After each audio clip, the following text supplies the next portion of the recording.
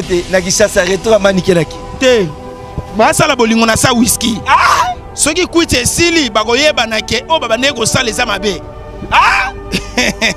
tala ke bote wi kote wana namoni mwa chantime ekomi kokɔta mwa moke moke azoforce kobongisa elongi me kikoko ezoreklame ye gaga ah! ah, manike koko eh, wi manike kikoko ezoreklame ye gaga ozomona tala sikoyo venjoga ah venjoga bososolaka mpe eh? yo mpenza owuti poto kosala ata sirurgie ya tolo te ah! iyaya ndeti kaka ozomelisa ti lelo ah! venjoga baninga nyonso bazokende na chirurgie okoki kolongwa awa ekomi ata boye ekoki kolongwa ata boye ekomi ata boye mais osalisi ata chirurgie te poto mobimba okei oye na mille coupe ah! ndeko na na combien 1000 coupe ndeko na nga oza mwasi to oza mobali oninga ozongela bale ata kutu batrésor mputu ya gaga mm. aza ata na 1000 coupe te ancien joueur mm. mais yo mwasi okomi na 1000 coupe 1000 coupe wana mpo okende yango wapi ozomona aye na 1000 coupe aye na babutu wana ya minene wana ya batimberlai wana 500 ah! ah ndeko mwasi change mpe tokoti 2024 eza mbula sika lukata mwa batalon babiloko mosusu oko kolata ekosoulage yo hmm? yo tomonako kaka na liputa na mois de la femme awa na miniti oyo ken abengi ngai asosoli ken alobi dadi mokonzi ya bawangila aza moto akokolabore na ye te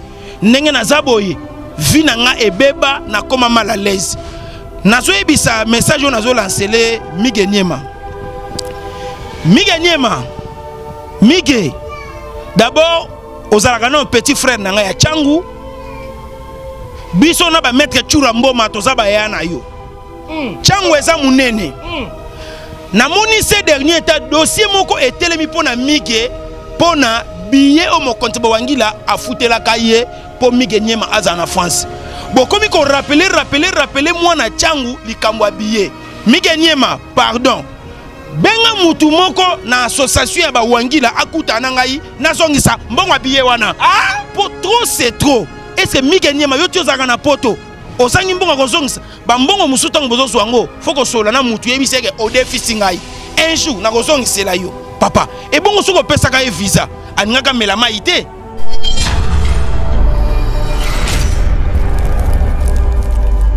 komisala nimero 1 na makasi papa ekosuka elo mabe makambo nyonso oyo oluka na vie obima nimero 1 makambo nyonso oyo oluka olakisa bamusicien ya kongo ke yo oza nimero 1 omoni te ke esukela kokaka mabe tala bato mema na poto lelo oyo babalukeli bango na bango babalukeli memi na yo bazofinga na bamakambo ya sali te biloko moko papa osaliri memi televizio osaliri interneti ezopesa mpasi makasi na motema nabwaki milimo mabe epa bawangila bango na bango koswana ekeye ezongi ah!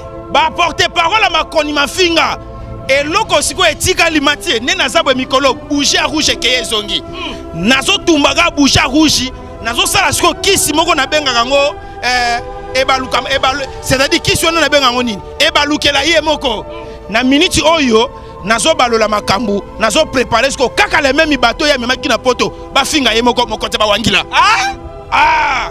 nayebisaki bino seso de mawelisa aza mawelisa ya kala ah! eto moto asovaka wana makambo ebele wana mpe eza mboka ya eto te ah, c'est-à-dire eh, soki omisala mwasi ya eto ah, eto nde motu asungako na makambo ebele sikoyo mboka oyo okei eza mboka ya beto te papa eske yo na vi na yo nde toyebi yo bamatch ebetamaka awa na rdc na stade de martyr yo mokonzi bawangila eske yo sosomba biyo ye kotala match soso mba biyo ye kotala mati ntango nayebisaka bino semesese mawelisa bamakambo ebele akenda boyebisa ngai peyi nini bazala na manifestation ya monene babenga mokonzi ya bawangila ntango aye kozonga awa asombi lupango alobi tala manifestation nakendaki na kane nakendaki na egypte nakendaki na mondial mbongo na yango yango nasombi lupango esi bomona nini akendaka kobeta tour akuta na barelation oyo ya ye kuna asenga bopesa nga une minute oza ah! asenga bopesa nga une minute ye wana awuti kokende mbangumbangu kuna te okei na kani ale sikoyo kanda esali ye akanisaki bakoproklame ye batye badaju batye bamizisie mosusu ale méchant wana akomi komela wiski na molangi ah! ndeko na ngai misie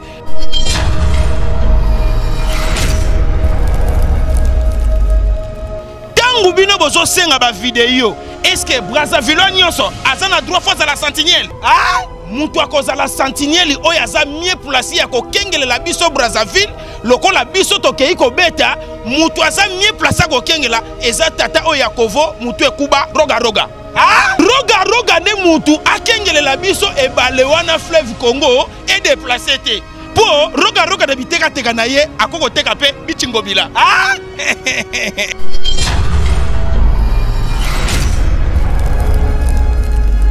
dossier bawangila bango mpe bakendaki na élection babimisaki mpe oyo ya bango député ah! ah nzambe na ngai mokonzi ya bawangila yebaka kosoutenir bato oyo balingaka mosala na yo garçon oyo aza na elongi ya bendien pardon tresi bimisela nga foto na ye garçon oyo aza na elongi ya bendien oyo anyokwamaka fort mpo na orchestre mokonzi ya bawangila bino bawangila bolobaka boza ebele boleki biso bagolois na ebele sikoyo mutu na bino akatani mpo na nini ah! Ah! bagolois toza ebele koleka bino tala mutu oyo depute oyo papa pekisa bana kuna makelele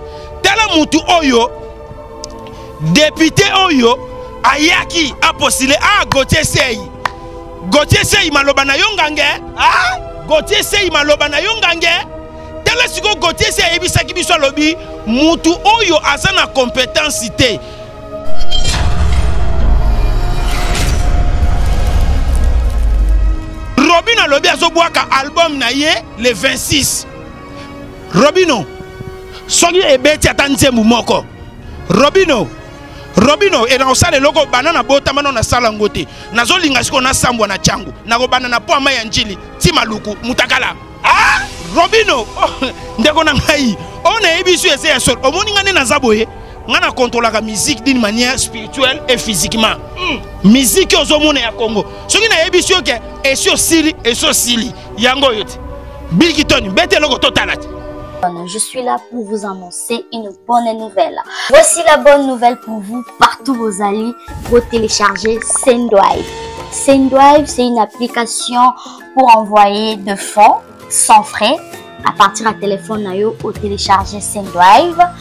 oza na poto okoki kotina mbongo partout na ba certains pays ya afrique précisement biso na congo oza toza na mposa so ya kose déplace te à partir ya téléphone télécharge sendrive na yo otindi mbongo na seconde moto mpe azwi na telefone na ye na mpesa orange mani airtel mani très facile à utiliser et c'est très sécurisé bobanga te talaka nga moko naza na kati epuis cadeau ya monene oyo tomemeli bino nyonso bozo télécharge sendrive boutilize code promo nanga elengi ya congo donc après avoir téléchargé sendrive okoutiliser code promo elengi ya congo oza na 10 euro offerte 10 euro bonus 10 euro wana ebakisi susu mwa un plus na mbongo oyo olingaki otinda en tout cas n'hésitez pas bana poto nyonso bacongolais tout badiaspora olingi otinda mbongo na congo Telecharge Sendrive,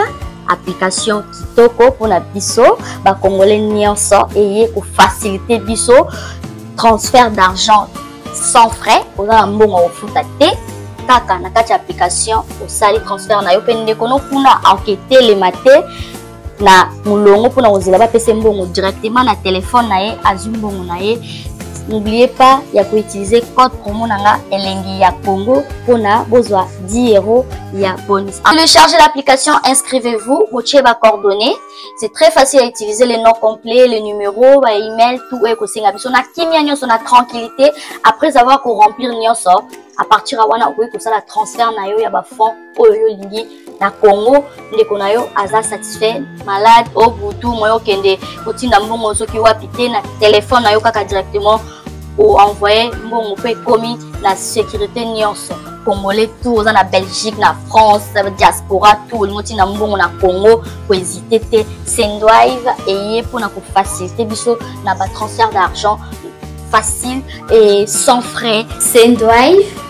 Mbongo na Chombo, la tranquillité.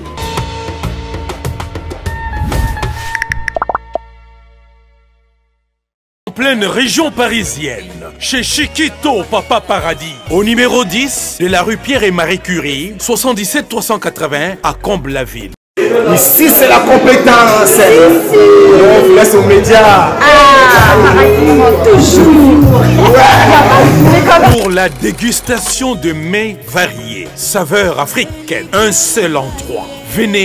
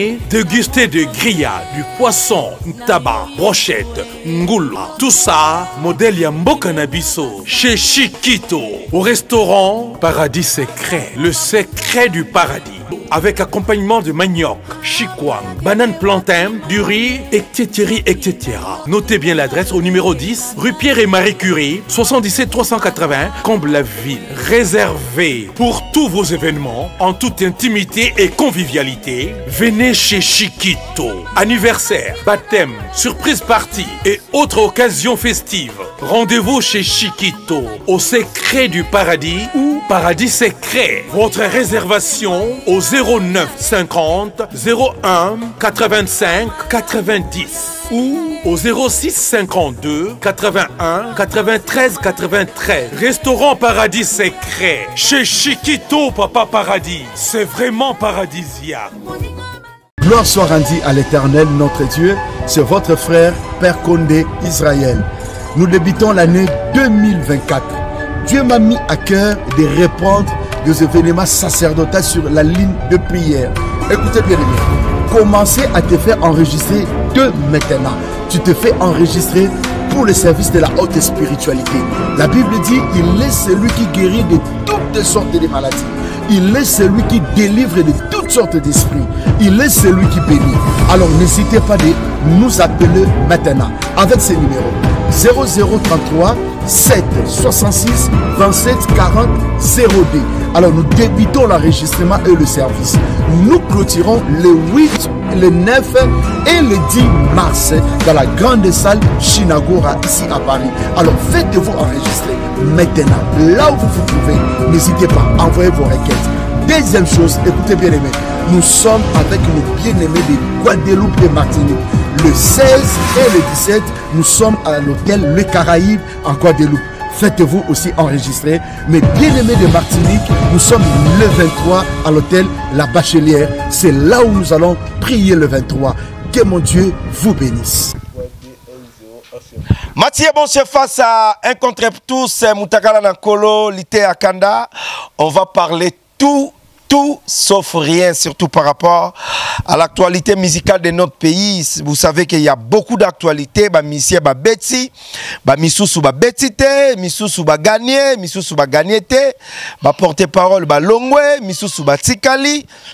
En tout cas, tokosola ebele yango dadi abengi nga mbangu mbangu tosola. Na profiter na pesa merci à Eric Mukweso Maison Ephraim balobi bibwa toza Willery Commerce et pourquoi pas sans fil en face à Planète Jikuta Maison Ephraim avec les boss Eric Mukweso ba panneaux eza likolo ya pasteur Moïse Mbiye okomona masolo ya bien. Na pesi mbote na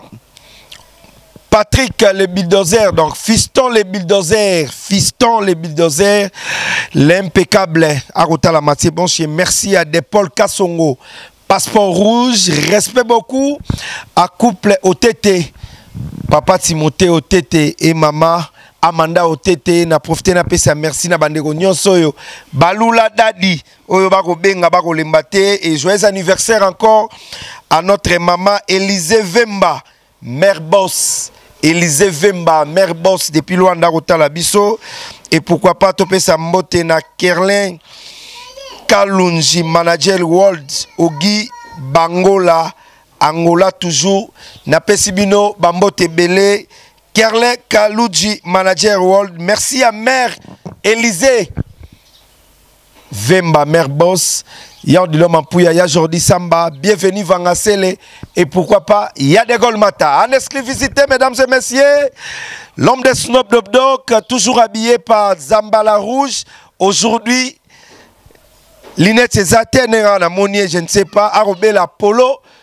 to problème eza nini ya boy linette dadi lite ya kanda mbote na yo mbote matie bonche tata apambola yo nasepeli makasi lisusu ndenge tomonani parce que nzoto ezoningana mwa moke mais tous les amis de lite ya kanda bagoloa mokili mobimba bana congo bamituni balobi dadi akei wapi mpe dadi akei wapi Daddy aza moto ya baconcentration extraordinaire c'est-à-dire toza na année ya sika toza na mbula sika toza toujours kocontinue kobakisa bastratégie yawe nzambe tata apambola émission pesela please please matie bonche atikaka ngai te aye lisusu tolobela ndenge moko alobaka tokoloba tout sauf rien eloko wana ah, ah matie bonche d'abord lelo eza le 16 janvier ntango tozosala mpe mission tolakisaka bato mpe ke toza mayele toprécisaka mpe badate journée ya lelo bato ebele bapota oyo esi ekangama e oyo esi ebota poso etombwami lisusu mm. c'est-à-dire bapota wana duleri emati lisusu e, toyebi bien na mboka oyo bakonti baleka kabila le père lelo eza le 16 janvier tata na biso mokonzi na biso ancien président atika biso tokanisi ye lisusu yango omoni batya yango ferie na mboka ekobosana te na famille chrétienne balelaka mpe lisusu lelo makasi ndenge bapedra sere na biso ya marie misamu vraiment tokanisi bino lisusu tokotika bino te parce que bosalaki ya mingi na mboka oyo mpe bandeko mosusu bokufela mpe baetre cher na bino na mokolo ya lelo le 16 janvier e, nayebi ete tozokabola mpasi wana mokolo ya lelo ensemble na bino yambo ete tokɔta na baaktualité napesi bakongomani nyonso to mpe bakongole bisika bizwami bino mbote yawe nzambe tata apambola bino nabanza ete Congo na biso eza na makambo ebele Congo na biso bato bazo souffrir Congo na biso bato bazo bela Congo na biso bato bazo zanga eloko ya kolia mai ya komela mpe courant ezopesa pasi makasi kasi nazalaka wana te mpo na kolobela makambo ya mboka parce que ngai naza politicien te ah? ngai naza un simple mutu oyo soki nasepeli nalobela makambo ya mboka nalobeli soki mpe nasepeli te etali ngai te parce ke ngai mpe na mboka oyo nao na dirigea ata quartier pamba te ah? c'est-à-dire makambo na bino bowuti koleka na bavote o vote bien o vote bien te nga mpe motu natindaki o vote te ezala te ntango 2 a 3 a makambo ekoyinda obenga nga dadi talela biso talela biso wana momana nde tokofinga na makambo ya salite ah! ah! ozomona alire tozokende yango mpo ngai nabetaki deja sete nabaki bovote bien bovote bien awa ah, bovote na desordre eh? etali bino sikoyo tokɔta na mama na likambo okay. voilà merci na assistance ya rigen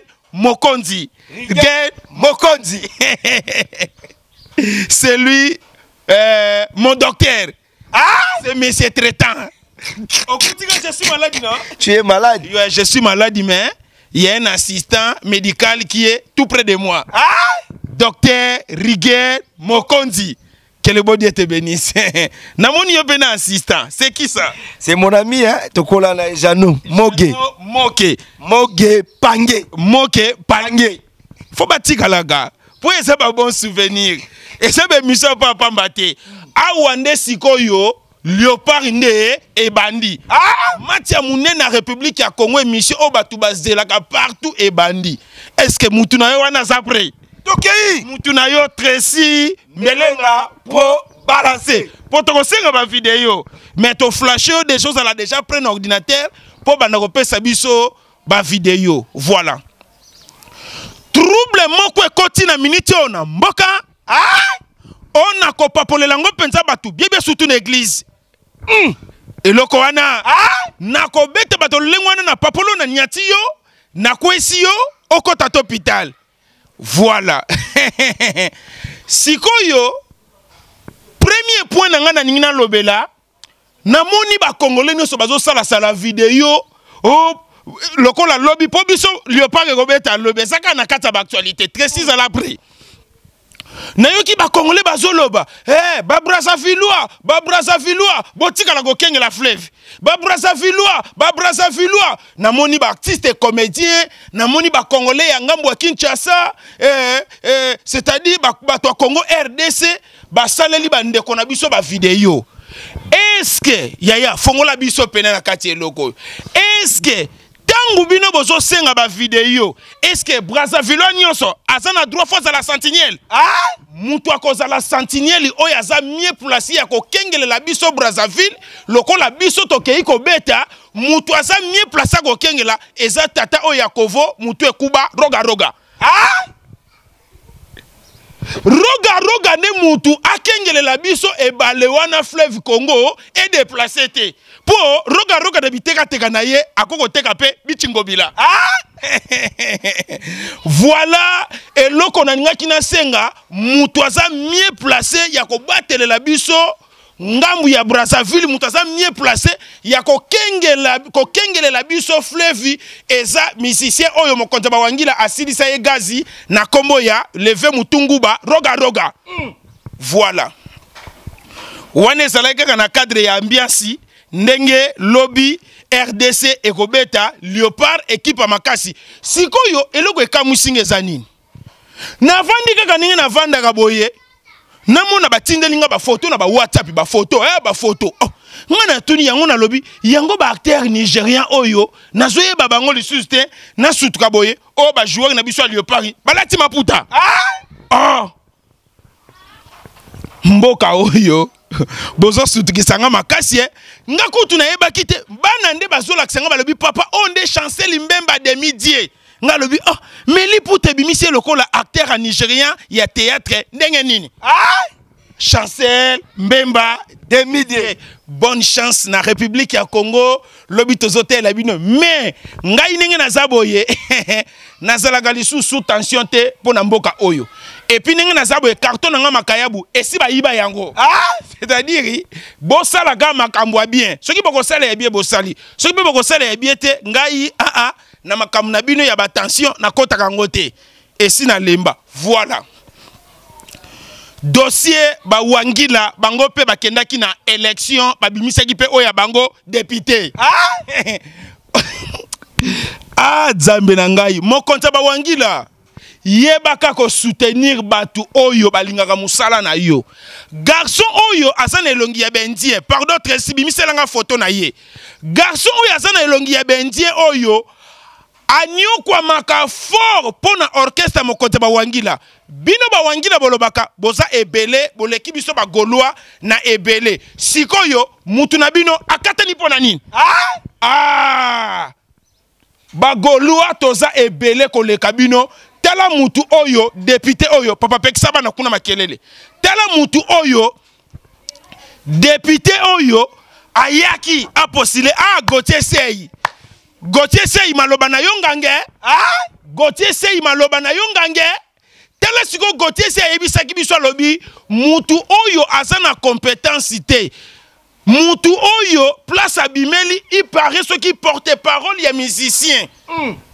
Mais musicien atiki ye Nzambe merci na batu nyonso oyo ndenge na solola kina kadima kadima kata bango akati bango ah tango tango na yebisa kabino kadima yokaka ngai botyaka tembe nayebisaki kadima kadima ngai naza mwana changu namoni ba infiltre bakoteli ngai na changu naa na posa okata bango hmm. kadima akati ba infiltre nyonso ya changu c'est-à-dire abimiseli ngai bato ngai nasengaki ye nde abimisi ah merci awa tokofelicite bientôt honorable francis cibalabala abimi likofi ya changu likofi ya changu ye kuta asenge ngai pardon me nayebisi kadima wana motu na ngai bimisa ye tika émission tango tozo sala éviter ba appel vidéo ya basi ah! toza na kati ya mosala bango bazela tosisa mosala oyo c'est très important ozomona bato baleli Batu baleli na presente ba condoléances na ba omoni na mboka oyo bato ebele bayebaka te bato balingi kobebisa mboka mbongo na bango matie bonche mm.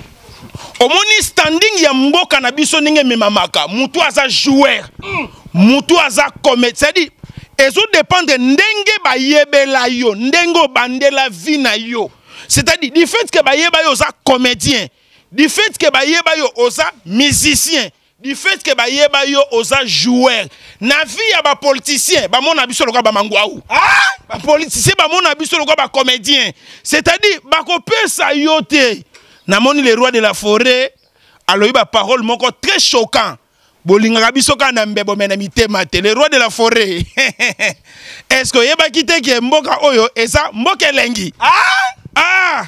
Vraiment courage na bino nionso bo dépensaki ba mbongo pour esthétique bolingaki bolakisa biso bino nde boyebi kokaba bino nde bosalisaka bato awa ah, bokatani boya lisusu kosalisa totala te ah, ah, nde sikoyo tokoyeba nani oyo abandaki kosalisa biso na motema nani oyo abandaki kosalisa biso mpo kosalisa eza do na ye to nani oyo abandaki kosalisa biso mpo na bavoi sava toleki page wana enterre cette page toye sikoyo na troisième point tokei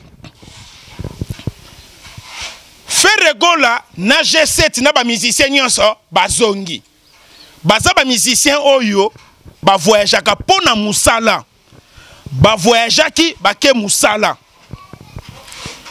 basilisi mosala baye kozonga toyoki bato nyonso tya dati tya dati tya dati tya dati fere oya mobali e oza nyama na etumba e tika nabenga yo oza nyama na etumba ah? fere gola mbala liboso na république ya congo namona musicien bazosenga ye tya dati seke bato nanu balembi yo te bato nanu balembi yo te bato balembi nde bafo miziki oyo euti kobeta oyo e, ebimi lokola babiloko moko ya bacourte joie babeti lelo lobi na terrain elimwe babeti lelo lobi na terrain elimwe félicitation na papa herve ferregola na bamusicien na ye nyonso ya g7 oyo baza na maîtrise ya voyage oyo baza na maîtrise ya déplacement mm. bakendaki mosala mpe baye kozonga mm. nayebisaki yo matie bonche biso toza bagolwa sutu ngai ozomona batyaka nga mosapi na zolo te ah? soki otye nga mosapi na zolo nga mpe nayebi place nakotya yo mosapi otye nga mosapi na zolo nga mpe nakiti yo pantalon natya yo mosapi nasalaka baje te ozolanda c'est-à-dire tozala ba responsable eh? via la torture omoni siko nde totubi otonga na mataku ah yaka lisusu kosala troisième nasengaki na bi via la torture soki oza mobali ya tembe sala troisième video ngai na ndima yo oza mobali via la torture akimi ah opération filme mwana via la torture koluka bitumba teke oya koluka bitumba na nga nga balukaka bitumba na ngai te nga naza père spirituel ya bagolois naza nganga soki nayebi so na kinganga na ngai na makambo nasala okokamwa biso tobunda bakomba mosusu na une heure na deux heures mitakala ah, c'est-à-dire naza nganga ya mabe naza mpe na kisi ya mabe soki oye mpo nga bato nabunda na bango na mboka oyo oh, ndeko na ngai okopusana te ozomona na menansa meme bachef de leta ya bapays oyo na menansa bato ya mbongo ya mboka oyo c'est-à-dire soki oye mpa na biso fozala makasi nabwaki milimo mabe epa bawangila bango na bango koswana ekeye ezongi ah! baporte parole ya makoni mafinga eloko sikoyo etikali matie nde naza boye mikolo bouge ya rouge ekeye ezongi mm. nazotumbaka bouge ya rouge nazosala sikoyo kisi moko nabengaka yango eh, ebaluka ebalu, c'est-à-dire kisi wana nabenga yango nini ebalukela ye moko mm. na miniti oyo nazobalola makambo nazoprepare sikoyo kaka le meme bato ye amemaki na poto bafinga ye moko mokote bawangila ah? ah! Nayebisaki bino seso de mawelisa aza mawelisa ya kala ah eto moto asovaka na makambo ebele wana mpeza mboka ya eto te mm. ah, c'est-à-dire eh, soki omisala mwasi ya eto ah, eto nde motu asungako na makambo ebele sikoyo mboka oyo okei eza mboka ya beto te papa Est-ce que yo na vie na nde to yebi yo ba match ebetamaka awa na RDC na stade des martyrs yo mokonzi ba wangila est-ce que yo so somba bio ye kotala match so somba bio ye kotala match tangu na yebisaka bino se messe se ma welisa ba makambo ebele akenda bo yebisa ngai Pays nini bazala na manifestation ya munene babenga mokonzi ba wangila tango aye kozonga awa asombi lupango alobi tala manifestation nakendaki na Cannes nakendaki na Egypte nakendaki na mondial mbongo nango yango nasombi lupango si bomona nini akenda kobeta tour akuta na ba relation oyo ya ye kuna asenga bopesa nga une minute oza ah!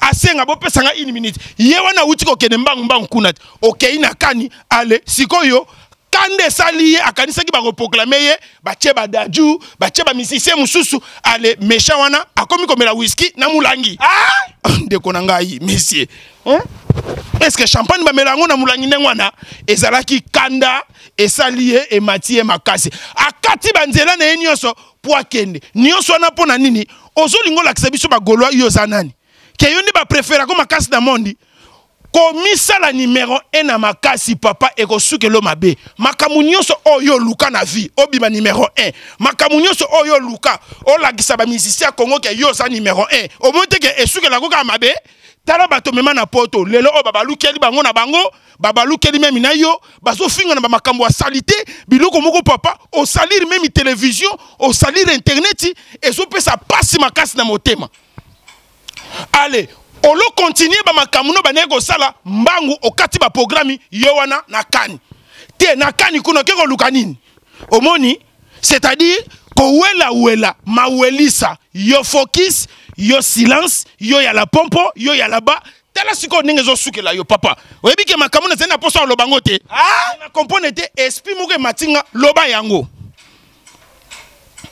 ozomona lire tozokende yango miziki moins kisi ebele babiloko bozosala tozosepela na yango te matie bonche toza na yo awa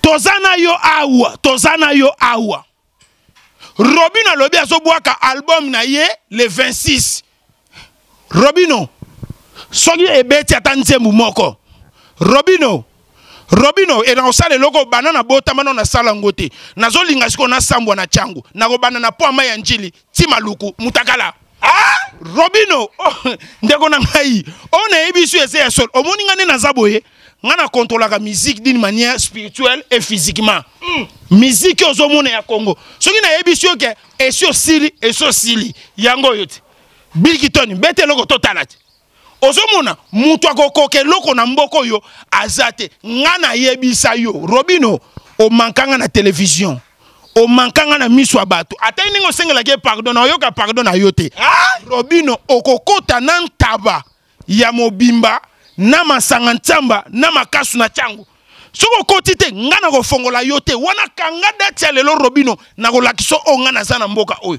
omoni mikolo nyonso naotambola te je suis en retraite ah? retraite spirituellement ya mabe oyo na minute oyo nakoti Eh, munwe qui a dit que bandule kozonga te chez jonga chez jonga 3 azongeli base na ye na paris oyo esika bozalaki kolia komela mpe koyoka ntule na niveau ya deux fois te boyeba ke bilenge ezongi na paris na niveau ya kosakana te chez jonga 3 awa chaque week-end bilenge ezongi ya ndule à partir ya le 17 février 2023 ouverture officielle ya bandule bokozwa chaque vendredi suzuki luzubu 4 fois 4 grands chanteurs de mon pays à partir ya 20h jusqu'à l'aube mpe samedi bokozwa cnn alligator na baninga tout awa bokosepela joli kitoko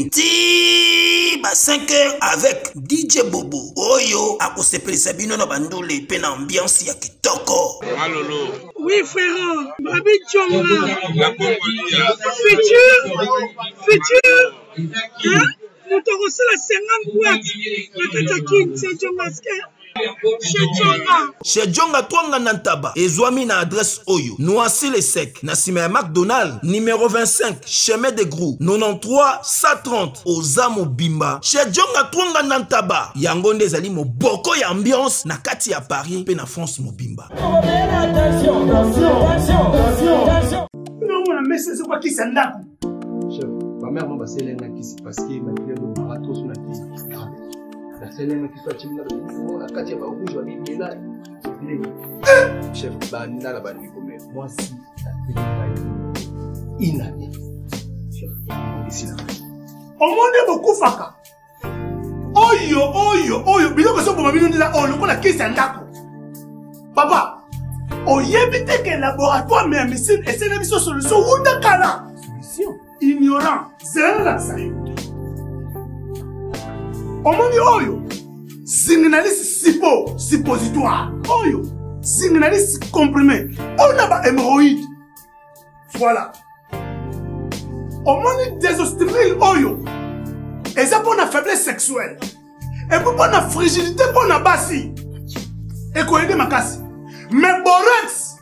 soki osisi traitement nyonso tu ya hemoroïde nde sikoyo kobanda kopakola yango mpo na nzoto ya biso bapapa soki mpe olingi omesire basantimetre no avant banda kopakola mpo mokolo kosilisa okomesire lisusu okomonake box toujours champion okomprendre bakestio nyonso nayakisi yo okozonga esika mosusu te na congo kaka na laboratoire me ya misine epuis esalami na banzete ya congo banzete kaka ya congo banzete mosusu te ya congo nde mama nakosi te patro kosi te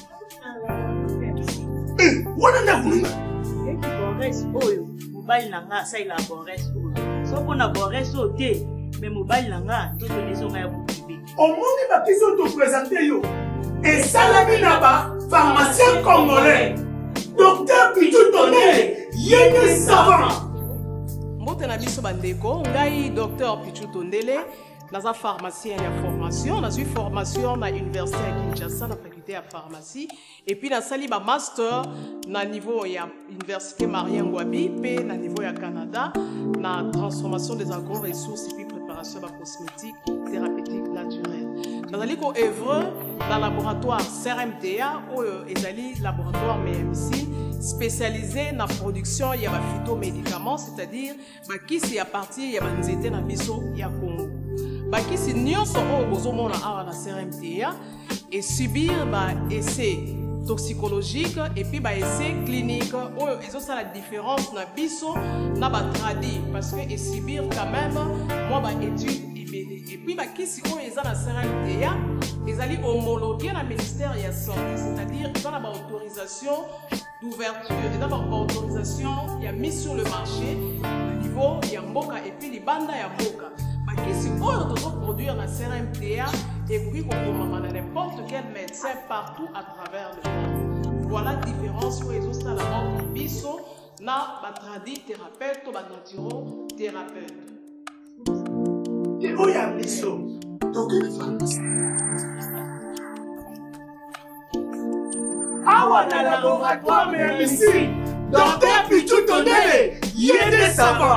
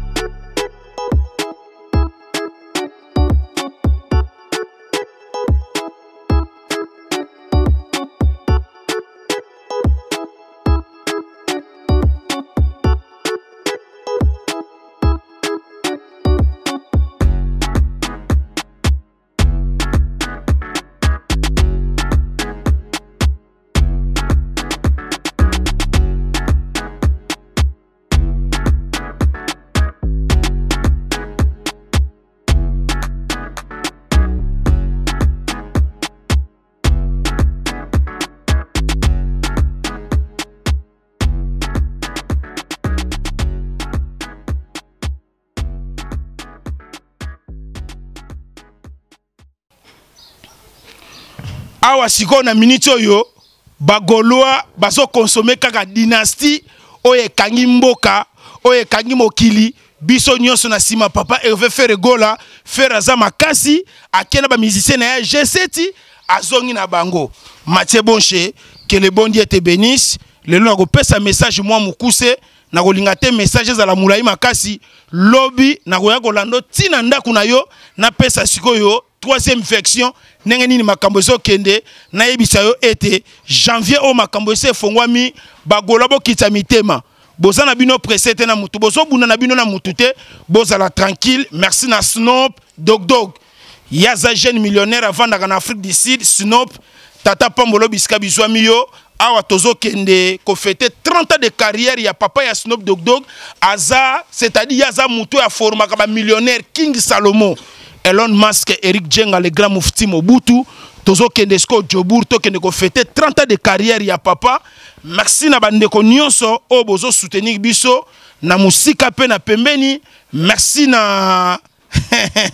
bato na yo banani bato na yo banani mama elise vemba mama elise vemba ye nani lisusu mare bos mare bos mama elise vemba mare bos na lwanda akoya anniversaire na ye Maman Elise. Eh, joyeux anniversaire, Maman Elise Mvemba. Mère Boss. Mère Boss na Luanda, Tata Pambolayo.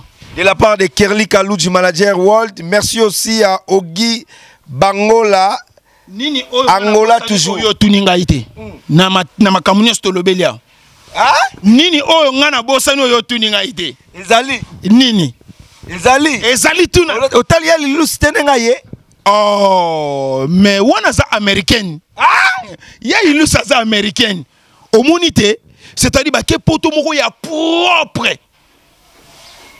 Mutu afingi sisi musicien azate. Bazongi pe propre. Rankini na vie eza mabe. Aluka approuver batu awa na stade de martyr. Stade de martyr wana bibembe lala ya kotala ya mibesu plus de 11 morts. aluki aprouve bato amema bato na poto alakisa bato keya bato amema bato na poto wana bandeki koluka aprouve ngai parce que ndenge aza wana azalaka na baniongo na ngai nasalela ye mosala afutanga te ah? je suis ndenge nazalaka boye inane et demi impayé mm. sikoyo na kanda wana lokola amonaki a ah, grangola longwe eh. bon nayoki se motema mpasi omemi bato na poto est ce que bato omemi na poto nkombo na yo e, esungami e to efingami lisusu wana ba wangila bango ba bandaka bongo ah wana ba wangila bango ba bandaka bongo c'est-à-dire c'est ni naza boye naza entouré na milimo mabe ya ba wangila c'est-à-dire ba bandaka bongo ba bani mabanga en pleine émission bo bani mabanga e wana siko bolingi ni to ba manana bino mabanga omoni love amanike te na kishasa retour amanike na kin te basala bolingo na sa whisky ah! soki kwiti esili bakoyebana ke oyo oh, babandaki kosala eza mabe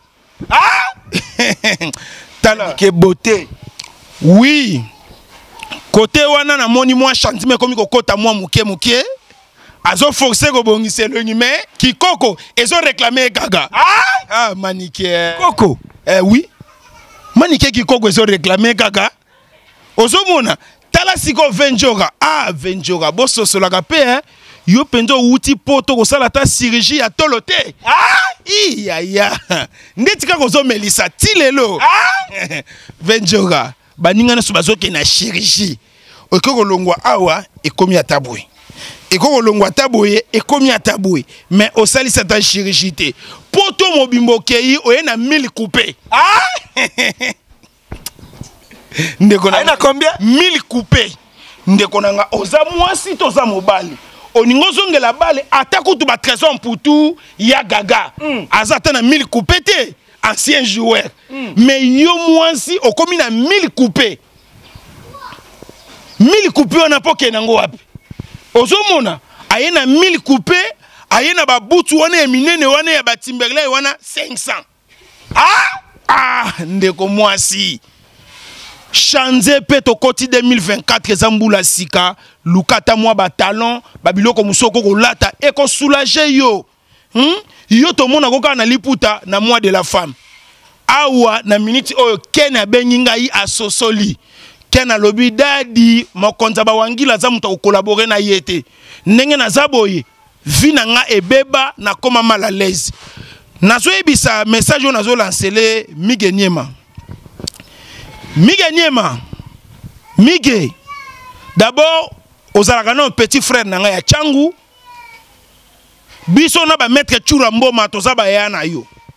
mm. chango eza munene mm. namoni ce dernier eta dossier moko etelemi mpo na mige mpo na biye oyo mokonzi bawangila afutelaka ye mpo mige niema azala na france bokomi korapele rapele rapele mwana changu likambo ya biye mige niema pardon benga mutu moko na association ya bawangila akutana na ngai nazongisa mbongo ya biye wana ah! mpo trop c'est trop est ce que mige niema yo ti ozalaka na poto ozangi mbongo akozongisa bambongo mosusu ntango bozozwa yango fo kosolola na motu yebisi eke odefisi ngai un jour nakozongisela yo papa ebongo soki opesaka ye visa alingaka mela mai te ozomona tala ndeti babiloko ezoleka awa apesi bato bavisa apres kopesa bango bavisa apesi bango lisusu baletre ya suspension apres kopesa bango baletre ya suspension alobi lisusu abengani bango apres kobengana bango aye koloba lisusu moto atanga lisusu nkombo na ye te ozomona te ke mokonzi ya bawangila oza noka betiser de betiser ah! mokonzi ya bawangila oza noka ngulu ozosokolaka toujours na potopoto oza exemple à suivre te na république ya congo tokomi na soni makasi TV ekomi très sali. Ba fille moko mema na poto, batu moko mema na poto baye bazo finga eloko na eloko na kombo nango. Toko suka wapi? Malgré je suis malade, mais na sali quand même o esengela ki na sala po bana Kongo ba bande ko zela dadi akoloba to akoloba te. To vani na bandaku biso to salaka na l'état te mais to respectaka l'état, l'état pesi biso ferie le 16 na le 17 biso tokoti ndako tokobima te ah! sikoyo awa ah, sikoyo lokola bopesi nga ferie naozela mpe biloko ya le 16 na ya le 17 oyo nakolia na ndako merci beaucoup à eric euh, mavuta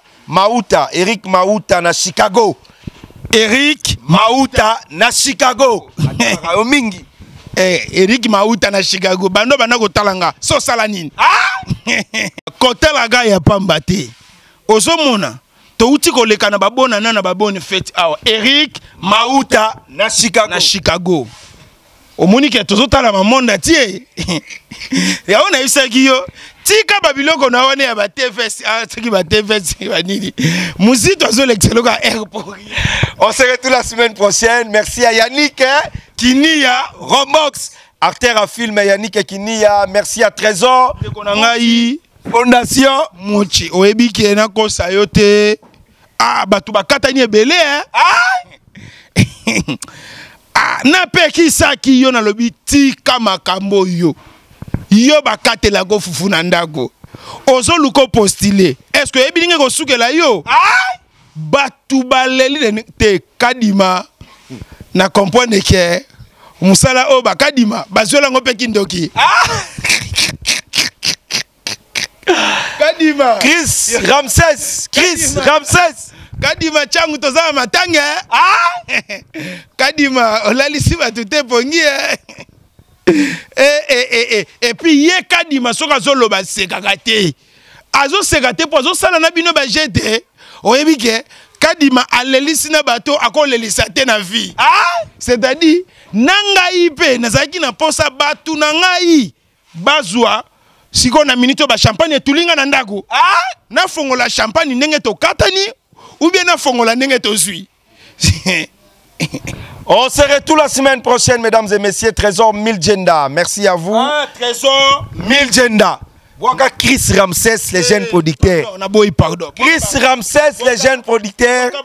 Merci. Ramsès, les jeunes producteurs. Ngana etolo banagate. double nationalité zino safela que le bon dieu te bénisse aimé ponda dollar boss ah ya papi bunzi papa, papa français bientôt album ezobima album ezobima afro kanda oyo akozwa libanga te atuna ngai te